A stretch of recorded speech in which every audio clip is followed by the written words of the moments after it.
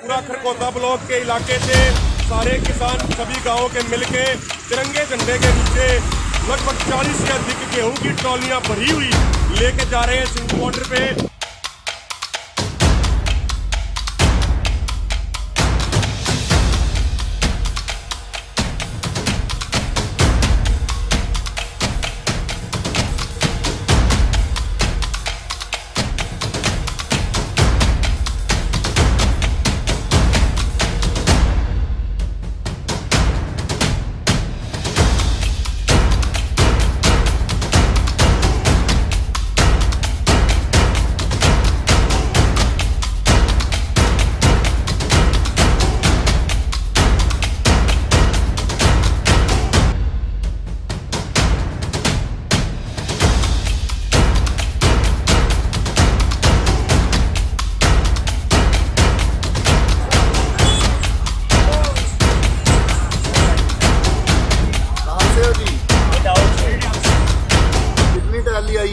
है है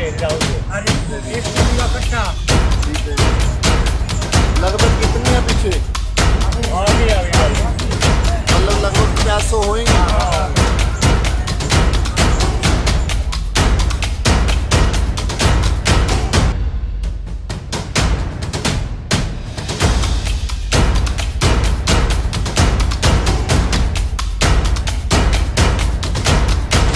नमस्ते जी। नमस्ते कहाँ से हो आप ठीक है कितनी है पीछे जो 20-25 और भी और पीछे और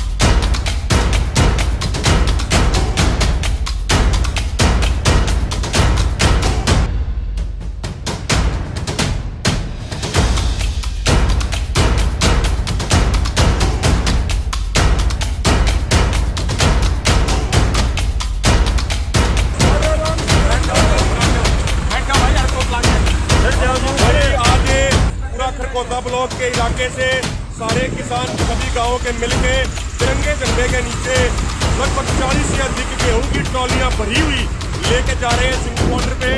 भाई सिंधु बॉर्डर पे वहाँ पे राम सिंह राणा जी का गोल्डन ढाबा है। वहाँ पे चक्की लगी हुई है।